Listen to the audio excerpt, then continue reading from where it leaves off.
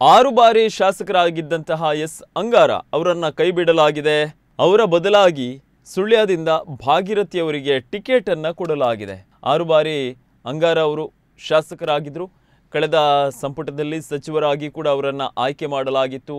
ಆದರೆ ಈ ಬಾರಿ ಅವರನ್ನು ಕೈ ಬಿಡಲಾಗಿದೆ ಅಂಗಾರ ಬದಲಾಗಿ ಭಾಗೀರಥಿ ಅವರಿಗೆ ಟಿಕೆಟನ್ನು ಕೊಡಲಾಗಿದೆ. ಭಾಗೀರಥಿ ಜಿಲ್ಲಾ ಪಂಚಾಯತ್ನ ಮಾಜಿ ಸದಸ್ಯೆಯಾಗಿ ಅವರು ಗುರುತಿಸಿಕೊಂಡಿದ್ದರು ಸುಳ್ಯ ಜನತೆಗೆ ಚಿರಪರಿಚಿತರಾಗಿದ್ದಾರೆ. ಆದರೆ ಅಷ್ಟೊಂದು ಅಂದರೆ ಉಳಿದ ಭಾಗಗಳಲ್ಲಿ ಅವರ ಹೆಸರು ಅಷ್ಟು ಹೇಳುವಷ್ಟು ಪ್ರಚಲಿತಕ್ಕೆ ಬಂದಿಲ್ಲ. ಎಸ್. ಅಂಗಾರ ಅವರು ಕಳೆದ ಆರು ಬಾರಿ ನಿರಂತರವಾಗಿ ಸೋಲಿಲ್ಲದೆ ಗೆಲ್ತಾ ಬರ್ತಾ ಇದ್ದರು ಒಂದು ಕಡೆಯಲ್ಲಿ ಅವರನ್ನು ಬದಲಾಯಿಸಬೇಕು ಅನ್ನುವಂತಹ ನಿಟ್ಟಿನಲ್ಲಿ ಮಾತುಗಳು ಕೇಳಿ ಬರ್ತಾ ಇತ್ತು. ಮತ್ತೊಂದು ಕಡೆಯಲ್ಲಿ ಅವರನ್ನು ಬದಲಾಯಿಸಿದರೆ ನಾವು ಬಿಡೋದಿಲ್ಲ ಅನ್ನುವಂಥ ನಿಟ್ಟಿನಲ್ಲಿ. ಅಂದರೆ ಅಲ್ಲಿನ ಅಭಿಮಾನಿಗಳಿದ್ದಾರೆ, ಸುಳ್ಯದ ಅಭಿಮಾನಿಗಳು. ಎಷ್ಟರ ಮಟ್ಟಿಗೆ ಅಂದರೆ ಅಂಗಾರ ನಮ್ಮ ಬಂಗಾರ ಅನ್ನುವಂಥ ರೀತಿಯಲ್ಲೂ ಕೂಡ ಘೋಷಣೆಗಳನ್ನು ಹಾಕ್ತಾ ಇದ್ರು. ಅಷ್ಟರ ಮಟ್ಟಿಗೆ ಅಭಿಮಾನಿಗಳು ಸುಳ್ಯದಲ್ಲಿ ಎಸ್ ಅಂಗಾರ ಅವರಿಗಿದ್ದಾರೆ. ಆದರೆ ಕೆಲವೊಂದು ಬೆಳವಣಿಗೆಯಲ್ಲಿ ಅವರಿಗೆ ಈ ಸರ್ತಿ ಟಿಕೆಟನ್ನು ಕೊಟ್ಟಿಲ್ಲ.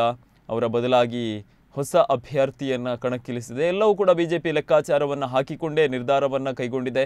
ಆರು ಬಾರಿ ಶಾಸಕರಾಗಿದ್ದಂತಹ ಅಂಗಾರ ಅವರು ಪಕ್ಷದ ನಿಷ್ಠಾವಂತ ಕಾರ್ಯಕರ್ತ ಅಂತ ಹೇಳ್ಬೋದು. ಪಕ್ಷ ಯಾವುದೇ ಜವಾಬ್ದಾರಿಯನ್ನು ಕೊಟ್ಟು ಕೊಟ್ಟರೂ ಕೂಡ ಅದನ್ನು ಅಚ್ಚುಕಟ್ಟಿ, ಅಚ್ಚುಕಟ್ಟಾಗಿ ಅವರು ನಿಭಾಯಿಸಿದ್ದಾರೆ. ಹಾಗೂ ಪಕ್ಷ ವಿರೋಧಿಯಾಗಿ ಯಾವುದೇ ಅವರ ಕೆಲಸಗಳಿಲ್ಲ. ಯಾವುದೇ ವಿವಾದಗಳು ಇಲ್ಲದಂತಹ ಒಬ್ಬ ನಾಯಕರಾಗಿ ಗುರುತಿಸಿಕೊಂಡು ಇದ್ದರು ಅಭಿವೃದ್ಧಿಯ ವಿಚಾರದಲ್ಲಿ ತನಗೆ ಸಾಧ್ಯ ಆದಷ್ಟು ಅಭಿವೃದ್ಧಿಯನ್ನು ಅವರು ಮಾಡಿದರು. ಸಾಮಾನ್ಯ ಮನೆತನದಿಂದ ಬಂದಂತಹ ಎಸ್. ಸಂಗಾರ್ ಅವರು ಇದೇ ಕಾರಣದಿಂದಾಗಿ ಬಿ ಜೆ ಪಿ ಮೊದಲೇ ಲೆಕ್ಕಾಚಾರವನ್ನು ಹಾಕಿಕೊಂಡಿದೆ ಅನ್ನುವಂಥ ಅನ್ನುವಂತಹ ವಿಚಾರವನ್ನು ನಾವು ಗಮನಿಸೋದಾದರೆ ಕಳೆದ ಸಂಪುಟದಲ್ಲೇ ಅಂಗಾರ ಅವರನ್ನು ಸಚಿವರು ಕೂಡ ಮಾಡಲಾಗಿತ್ತು. ಸೊ ಈಗ ಕೆಲವೊಂದು ಲೆಕ್ಕಾಚಾರದ ಪ್ರಕಾರ ಅವರನ್ನು ಸಂಪೂರ್ಣವಾಗಿ ಈ ಒಂದು ಚುನಾವಣಾ ಸ್ಪರ್ಧೆಯಿಂದ ವಾಪಸ್ ಪಡೆಯಲಾಗಿದೆ. ಅವರ ಬದಲಾಗಿ ಹೊಸ ಅಭ್ಯರ್ಥಿಯಾಗಿ ಭಾಗೀರಥಿ ಅವರನ್ನು ಚುನಾವಣಾ ಕಣಕ್ಕೆ ಇಳಿಸಲಾಗಿದೆ.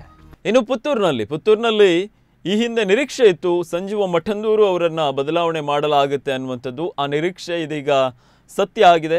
ಸಂಜೀವ ಮಠಂದೂರು ಅವರನ್ನು ಬದಲಾವಣೆ ಮಾಡಲಾಗಿದೆ. ಹಾಲಿ ಶಾಸಕ ಸಂಜೀವ ಮಠಂದೂರು ಕಳೆದ ಚುನಾವಣೆಯಲ್ಲಿ ಶಕುಂತಲಾ ಶೆಟ್ಟಿ ವಿರುದ್ಧ ಭರ್ಜರಿಯಾಗಿ ಗೆಲುವನ್ನು ದಾಖಲಿಸಿದ್ರು. ಆ ಮೂಲಕ ಶಾಸಕರಾಗಿ ಆಯ್ಕೆಯಾಗಿದ್ರು. ಆ ಬಳಿಕ ಒಂದಿಷ್ಟು ಕೆಲಸ ಕಾರ್ಯಗಳು ಅಥವಾ ಇನ್ನಿತರ ವಿಚಾರಗಳನ್ನು ಗಮನಿಸಿದಂಥ ಸಂದರ್ಭದಲ್ಲಿ ಇತ್ತೀಚಿನ ಕೆಲವೊಂದು ಸನ್ನಿವೇಶಗಳು ಪ್ರಮುಖವಾಗಿ. ಬಿ ಜೆ ಪಿಯಿಂದಲೇ ಸಂಜೀವ ಮಠಂದೂರು ಅವರಿಗೆ ವಿರೋಧ ಇತ್ತು.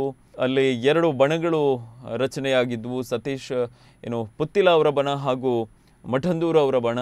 ಸೊ ಈ ಎರಡು ಬಣಗಳು ಒಂದಿಷ್ಟು ಮಠಂದೂರು ಅವರಿಗೆ ಟಿಕೆಟನ್ನು ಕೊಡಬಾರ್ದು ಅನ್ನುವಂಥ ನಿಟ್ಟಿನಲ್ಲಿ ಒಂದಿಷ್ಟು ಮಾತುಗಳು ಕೇಳಿ ಬರ್ತಾ ಇತ್ತು. ಅಮಿತ್ ಶಾ ಕರಾವಳಿಗೆ ಭೇಟಿ ಕೊಟ್ಟಂತಹ ಸಂದರ್ಭದಲ್ಲಿ ಅದರಲ್ಲೂ ಕೂಡ ಪುತ್ತೂರಿಗೆ ಭೇಟಿ ಕೊಟ್ಟಂತಹ ಸಂದರ್ಭದಲ್ಲಿ ಪುತ್ತಿಲ ಅಭಿಮಾನಿಗಳು ಹಾಗೂ ಸಂಜೀವ ಮಠಂದೂರು ಅಭಿಮಾನಿಗಳ ನಡುವೆ ಒಂದಿಷ್ಟು ಮಾತುಕತೆ ಕೂಡ ನಡೆದಂತಹ ಸನ್ನಿವೇಶವನ್ನು ನಾವು ಗಮನಿಸಿದ್ವಿ. ಅದೇ ಸಂದರ್ಭದಲ್ಲಿ ಸಾಕಷ್ಟು ಮಂದಿ ಹೇಳಿದರು, ಈ ಬಾರಿ ಸಂಜೀವ ಮಠಂದೂರು ಅವರಿಗೆ ಟಿಕೆಟ್ ಸಿಗೋದಿಲ್ಲ ಅನ್ನುವಂಥದ್ದು.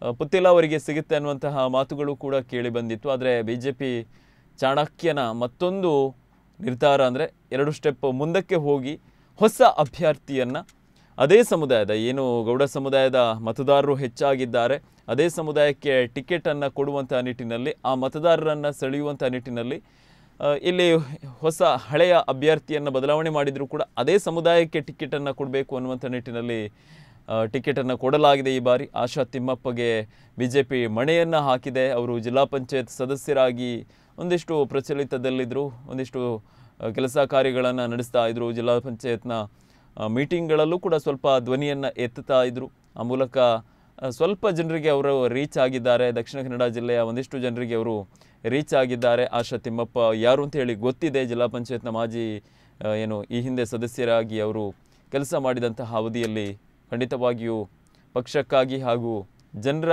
ಒಳಿತಿಗಾಗಿ ಪ್ರಯತ್ನವನ್ನು ಪಟ್ಟಿದ್ರು ಅನ್ನುವಂತಹ ಮಾತುಗಳು ಕೂಡ ಇದೆ. ಇದೀಗ ಮಠಂದೂರು ಅವರ ಬದಲಾಗಿ ಹೊಸ ಅಭ್ಯರ್ಥಿಯಾಗಿ ಅವರನ್ನು ಬಿ ಜೆ ಪಿ ಕಣಕ್ಕಿಳಿಸಿದೆ.